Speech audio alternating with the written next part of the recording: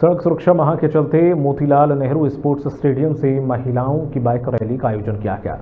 सड़क सुरक्षा माह में प्रत्येक दिन सड़क सुरक्षा जागरूकता के विभिन्न कार्यक्रम किए जा रहे हैं और इसी क्रम में परिवहन विभाग ने महिलाओं की बाइक रैली का आयोजन किया। बाइक रैली को मोतीलाल नेहरू स्टेडियम से यात्री कर अधिकारी अवध राजगुप्ता और जिला स्पोर्ट्स अफसर सर्वेंद्र सिंह ने हरी झंडी दिखाकर रवाना किया।